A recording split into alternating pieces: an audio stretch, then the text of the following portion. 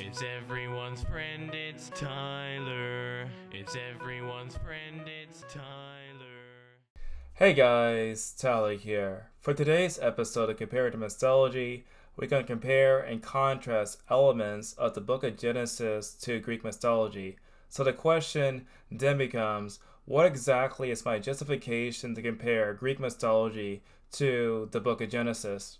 My main justification to compare and contrast Greek mythology to the book of Genesis largely comes directly from the World History Encyclopedia about Phoenicia.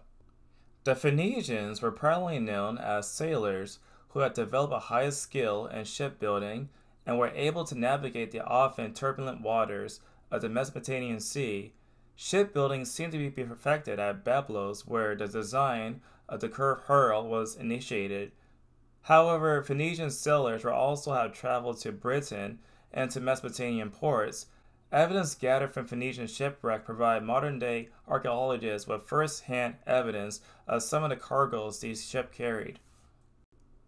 It is also thought that many of the gods of ancient Greece were imported from Phoenicia as there were certain indisputable similarities in some stories concerning the Phoenician gods Baal and Yam and the great deities of Zeus and Poseidon, it is also noticeable that the battle between the Christian God and Satan, as related in the book of Revelation, seem a much later version of the same conflict with the many same details one finds in the Phoenician myth of Baal and Yam. In 332 BCE, Alexander the Great conquered Baalbek, renaming it Heliopolis, and marched upon the subdued cities of Byblos and Sidon the same year. Upon his arrival at Tyre, the citizens followed the example set by Sidon and submitted peacefully to Alexander's demand for submission. The religious beliefs of the Tyrians forbid foreigners from sacrificing or even attending services in the temple, and so they offered Alexander a compromise whereby they could offer sacrifice in the old city on the mainland, but not in the temple on the island complex of Tyre. Alexander found this proposal unacceptable and sent envoys to Tyre demanding their surrender. The Tyrians killed the envoys and strewed their bodies over the walls. At this point, Alexander ordered a siege of Tyre and was determined to take the city, that he built a castaway from the ruins of the old city, debris and trees from the mainland to the island, which owing the deposit over the century which is why Tyre is not an island today, and after seven months bleached the wall and massacred most of the populace. By 64 BCE, the dissembled parts of Phoenicia were acquired by Rome, and by 15 CE were the colonies of the Roman Empire, with Heliopolis remaining an important site based upon the greatest religious building, the Temple of Jupiter Baal, and all the empire, the ruins of which well preserved to this day. The most famous legacy of Phoenicia is undoubtedly the alphabet, but also their contribution to the arts and their role in dissembling the culture of the ancient world. So, based upon this historical information, it's safe to say that not only the ancient Canaan or Phoenicia was getting ideas directly from Mesopotamia, but also it seems that they were also getting ideas directly from the Greeks because they were actually being conquered by Alexander the Great and it seemed as though that the gods of Phoenicia, like El, Baal, and Asherah, directly inspired the creation of gods like Zeus or Poseidon. So, what exactly are the connections between the book of Genesis as well as the Greek mythology? Yahweh, the God of the Bible, instruct both Adam and Eve to not eat directly from the tree of knowledge and good and evil, and during the encounter, the snake in the garden tricked Eve to get in the fruit directly from the tree of knowledge and good and evil, and she in return gave the fruit to Adam. And it happens that after they got the fruit in their stomachs, they began to notice that they were naked. And as soon as they were noticed that they were naked, the God of the Bible has punished humanity, which started the fall of man.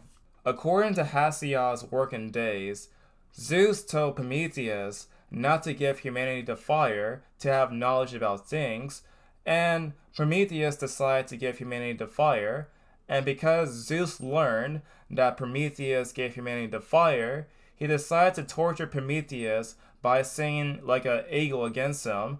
And Hercules, at the very last minute during the last days, decided to rescue Prometheus. There was a woman named Pandora, and one day Pandora decided to open a jar that was full of bad things, and the only things that was left in the jar was that of hope.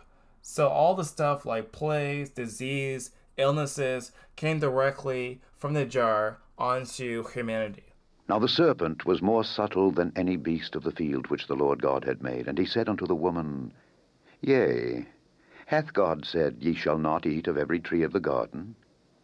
And the woman said unto the serpent, We may eat of the fruit of the trees of the garden, but of the fruit of the tree which is in the midst of the garden, God hath said, Ye shall not eat of it, neither shall ye touch it, lest ye die. And the serpent said unto the woman, Ye shall not surely die. For God doth know that in the day ye eat thereof, then your eyes shall be opened, and ye shall be as gods, knowing good and evil. And when the woman saw that the tree was good for food, and that it was pleasant to the eyes, and a tree to be desired to make one wise, she took of the fruit thereof, and did eat, and gave also unto her husband with her, and he did eat. And the eyes of them both were opened, and they knew that they were naked. And they sewed fig leaves together, and made themselves aprons. And they heard the voice of the Lord God walking in the garden in the cool of the day. And Adam and his wife hid themselves from the presence of the Lord God amongst the trees of the garden. And the Lord God called unto Adam and said unto him, Where art thou? And he said, I heard thy voice in the garden, and I was afraid because I was naked, and I hid myself. And he said, Who told thee that thou wast naked? Hast thou eaten of the tree whereof I commanded thee that thou shouldest not eat? And the man said, The woman whom thou gavest to be with me, she gave me of the tree, and I did eat. And the Lord God said unto the woman, What is this that thou hast done? And the woman said, The serpent beguiled me, and I did eat. And the Lord God said unto the serpent, Because thou hast done this, Thou art cursed above all cattle and above every beast of the field. Upon thy belly shalt thou go, and dust shalt thou eat all the days of thy life. And I will put enmity between thee and the woman, and between thy seed and her seed. It shall bruise thy head, and thou shalt bruise his heel. Unto the woman he said, I will greatly multiply thy sorrow and thy conception. In sorrow thou shalt bring forth children and thy desire shall be to thy husband, and he shall rule over thee. And unto Adam he said, Because thou hast hearkened unto the voice of thy wife, and hast eaten of the tree of which I commanded thee, saying, Thou shalt not eat of it, cursed is the ground for thy sake. In sorrow shalt thou eat of it all the days of thy life. Thorns also and thistles shall it bring forth to thee, and thou shalt eat the herb of the field. In the sweat of thy face shalt thou eat bread till thou return unto the ground. For out of it wast thou taken, for dust thou art, and unto dust shalt thou return. And Adam called his wife's name Eve, because she was the mother of all living. Unto Adam also and to his wife did the Lord God make coats of skins, and clothed them. And the Lord God said, Behold, the man is become as one of us to know good and evil. And now, lest he put forth his hand and take also of the tree of life, and eat, and live forever. Therefore the Lord God sent him forth from the Garden of Eden to till the ground from whence he was taken. So he drove out the man, and he placed at the east of the Garden of Eden cherubims, and a flaming sword which turned every way to keep the way of the tree of life. But Zeus, in the anger of his heart, hid it away, because the devious-minded Prometheus had cheated him. And therefore Zeus thought up dismal sorrows for mankind. He hid fire, but Prometheus, the powerful son of Iapetus, stole it again from Zeus of the councils to give to mortals. He hid it out of the sight of Zeus, who delights in thunder in the hollow fennel stalk. In anger the cloud gatherer spoke to him. Son of Iapetus, deviser of crafts beyond all others, you are happy that you stole the fire and outwitted my thinking. But it will be a great sorrow to you, and to men who come after. As the price of fire, I will give them an evil, and all men shall fondle this their evil close to their hearts, and take delight in it. So spoke the father of gods and mortals, and laughed out loud. He told glorious Hephaestus to make haste and plaster earth with water, and to infuse it with a human voice and vigour, and make the face like the immortal goddesses, the bewitching features of a young girl. Meanwhile, Athene was to teach her her skills and how to do the intricate weaving, while Aphrodite was to mist her head in golden endearment and the cruelty of desire and longings that wear out the body. But to Hermes, the guide, the slayer of Argus, he gave instructions to put in her the mind of a hussy and a treacherous nature. So Zeus spoke, and all obeyed Lord Zeus, the son of Cronos. The renowned strong smith modelled her figure of earth in the likeness of a decorous young girl, as the son of Cronos had wished it. The goddess grey-eyed Athene dressed and arrayed her. The Graces, who are goddesses and hallowed persuasion, put necklaces of gold upon her body, while the seasons, with glorious tresses, put upon her head a coronal of spring flowers, and Pallas Athene put all decor upon her body. But into her heart Hermes, the guide, the slayer of Argus, put lies and wheedling words of falsehood and a treacherous nature, made her as Zeus of the deep thunder wished, and he, the god's herald, put a voice inside her, and gave her the name of woman, Pandora, because all the gods, who have their homes on Olympus, had given her each a gift to be a sorrow to men who eat bread. Now, when he had done with this sheer, impossible deception, the father sent the god's fleet messenger Hermes to Epimetheus, bringing her a gift. Nor did Epimetheus remember to think how Prometheus had told him never to accept a gift from Olympian Zeus, but always to send it back, for fear it might prove to be an evil for mankind. He took the evil, and only perceived it when he possessed her. Since before this time, the races of men had been living on earth free from all evils, free from laborious work, and free from all wearing sicknesses that bring their fates down on men. For men grow old suddenly in the midst of misfortune.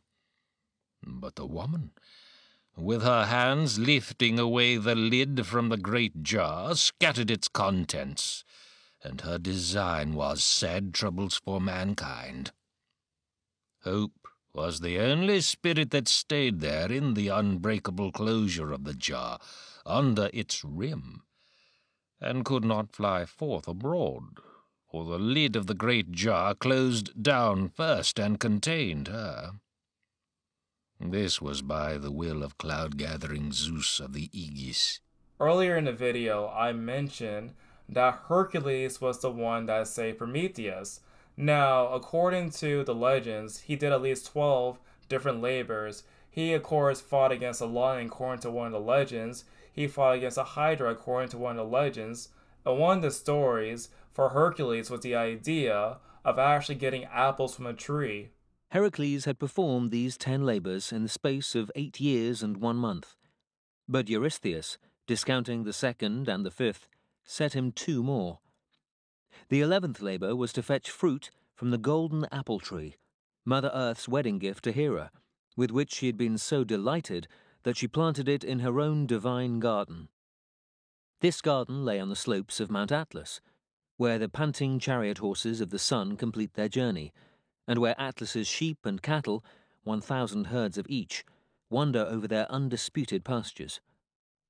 When Hera found, one day, that Atlas's daughters, the Hesperides, to whom she had entrusted the tree, were pilfering the apples, she set the ever watchful dragon Ladon to coil around the tree as its guardian.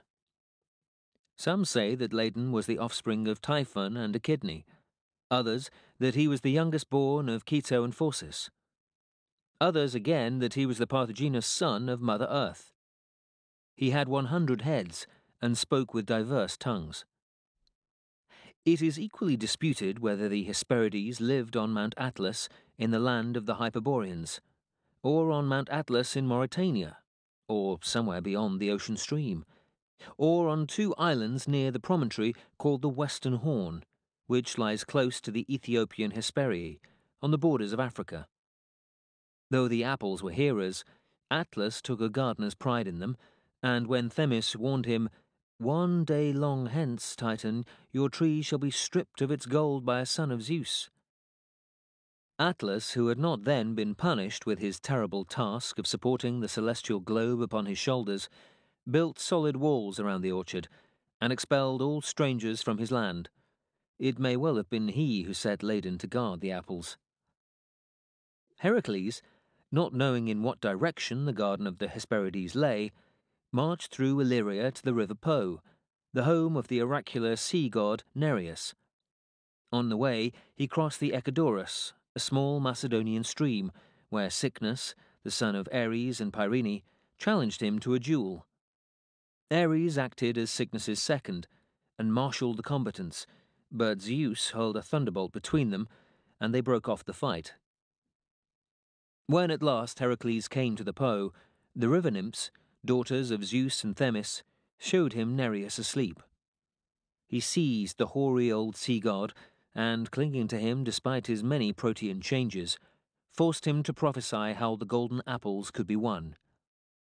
Some say, however, that Heracles went to Prometheus for this information. Nereus had advised Heracles not to pluck the apples himself, but to employ Atlas as his agent, meanwhile relieving him of his fantastic burden. Therefore, on arriving at the garden of the Hesperides, he asked Atlas to do him this favour. Atlas would have undertaken almost any task for the sake of an hour's respite, but he feared Ladon, whom Heracles thereupon killed with an arrow shot over the garden wall. Heracles now bent his back to receive the weight of the celestial globe, and Atlas walked away, returning presently with three apples plucked by his daughters. He found the sense of freedom delicious I will take these apples to Eurystheus myself without fail, he said, if you hold up the heavens for a few months longer. Heracles pretended to agree, but, having been warned by Nereus not to accept any such offer, begged Atlas to support the globe for only one moment more while he put a pad on his head. Atlas, easily deceived, laid the apples on the ground and resumed his burden, whereupon Heracles picked them up and went away with an ironical farewell. But undoubtedly, the most famous story of the bunch happens to be Deucalion's flood. Now, this particular version of the story comes directly from the library of Apollodorus, and Prometheus had a son Deucalion, and when Zeus was restored to man in the Bronze Age, Deucalion, by the advice of Prometheus, constructed a chest, and having it stored with provision, he embarked it with Phoenicia. But Zeus, by pouring heavy rain from the heaven, flooded the greater part of Greece so that all men were destroyed, except a few who fled to the high mountains in the neighborhood. Floating in the chest over the sea for nine days and as many nights, drafted to Parnassus, and there, when the rain ceased, he led it and sacrificed to Zeus, the god of escape, and Zeus sent Hermes to him, and allowed him to choose what he would, and he chose to get men, and at the bidding of Zeus, he took up stones and strewed them over his heads, and the stone which Deucalion became men, and the stones which they became women. Hence people were metaphorically called Laos from Laos of stone, and Deucalion had children. According to Plato, he says right here that many great deluges have taken place during the 9,000 years, for that is the number of years that have elapsed since the time of which I am speaking, and during all this time and throughout many changes, there has never been any considerable accumulation of the soil coming down from the mountains as in other places, but the earth has fallen away all round and sank of sight. The consequence is that in comparison of what then was, there was remaining only the bones of the waste bodies, as they would be called, as in the case of small islands, all the richer and smaller parts of the soil having fallen away, and the mere skeleton of the land being left. It can be dated back roughly around 1528 BC. Now keep in mind that the book of Genesis was not written down roughly until 1200 to 1400 BCE. Now, this article comes directly from the National Center for Science Education. It says right here that Noah's Ark may have happened, but not the whole entire world. Now, if we go down, we can see right here the regional evidence for similar floods during the time period of Noah's Ark. It says right here that two rivers, the Euphrates and Tigris River, flows through Mesopotamia, which is now the country of Iraq. There are several layers and exposed rocks near these two rivers in southeastern Mesopotamia, Iraq, that are likely flood deposits. Most are about about one foot, about 0.3 meters thick, but one is as much as 3 meters thick, according to McDonald in 1988. Further debris from this same stick deposit along the Euphrates River near the ancient city of Shuruppak, about 200 kilometers southeast of Baghdad, has been dated by the C14 method, given an age about 2900 BCE.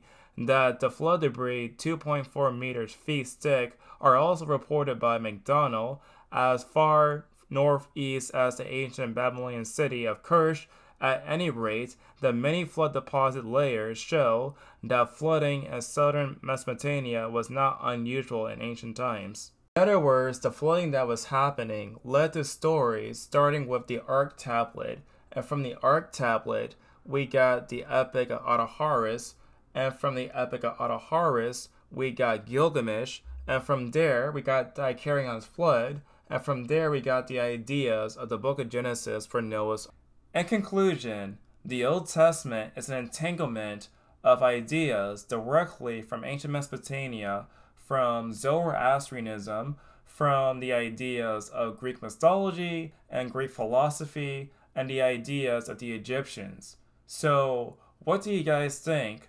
Tell me in the comment section down below, and as always, I'll see you guys in the next video.